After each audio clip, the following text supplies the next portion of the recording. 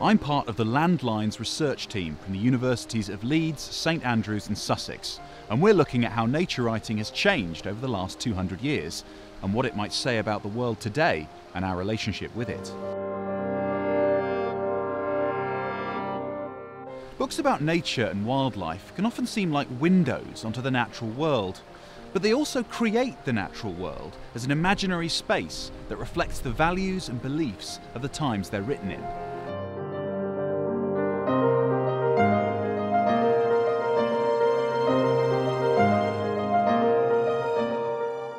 Working with the Arts and Humanities Research Council on a national survey to find the UK's favourite nature book, and we'd like you to take part. Just follow the link at the end of this film and enter your choice. The deadline for entries is the 30th of November. Once all the entries are in, our panel of experts will draw up a shortlist of 10 books.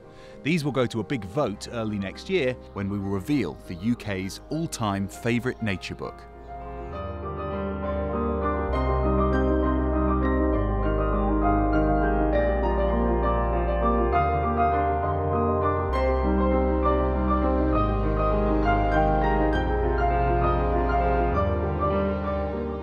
To help inspire you, some famous nature lovers have told us their choices.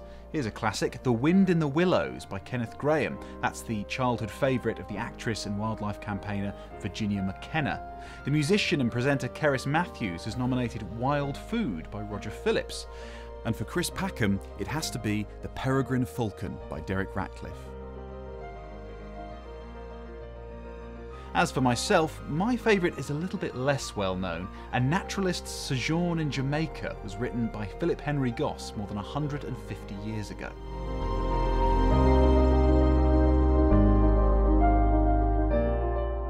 So, now the choice is entirely yours. Thank you for taking part.